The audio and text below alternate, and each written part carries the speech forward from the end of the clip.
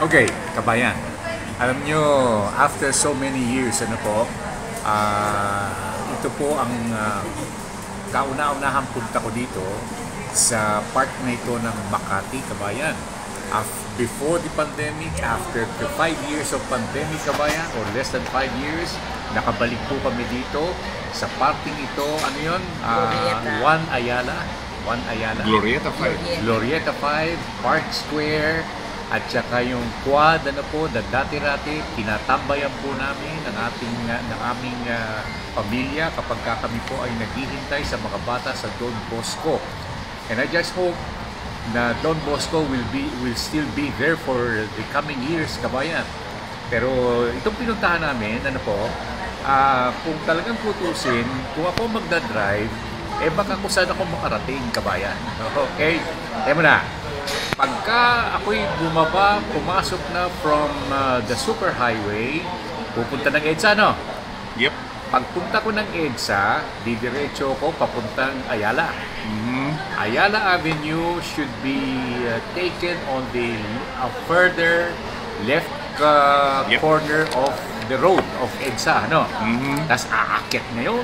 Aakyat ngayon sa taas. Pagkatapos may stoplight doon. Tinatandaan ko lahat yan, kabayan, sapagkat you know, after so many years, wala pa yung mga bagay na yan. Nung kami po'y panahon na naglilibot dito, oh, ang sakay-sakay ko pa ho, Tamaraw, di ba?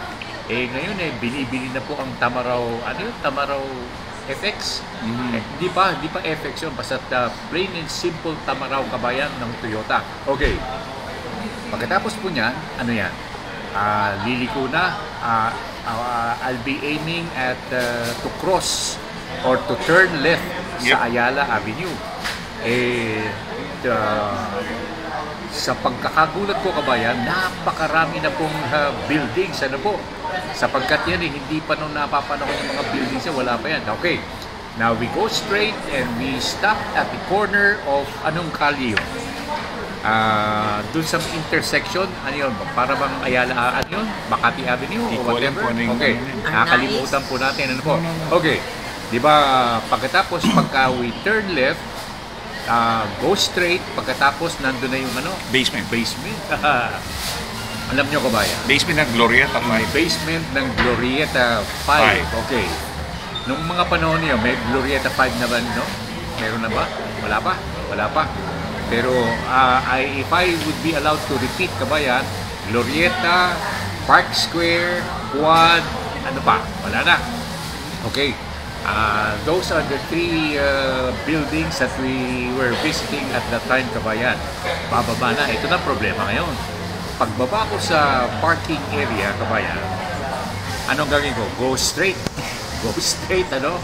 Susundan ko lamang daw yung mga araw kung saan ako pupunta. Pero I have to be very sure na yung pupuntahan ko ay mararating ko ang aking, uh, mapupuntahan ko ang aking dapat na puntahan, kabayan. Mararating ko yan. Okay.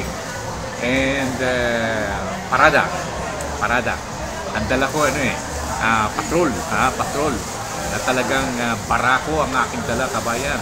And uh, it's still a manual uh, steering type of uh, uh, vehicle kabayan. Okay. Bumaba po kami at for uh, sa sa pagtingin ko kabayan, for the first time in my life, nakita po namin ang magandang gusali po. Anong gusali ito?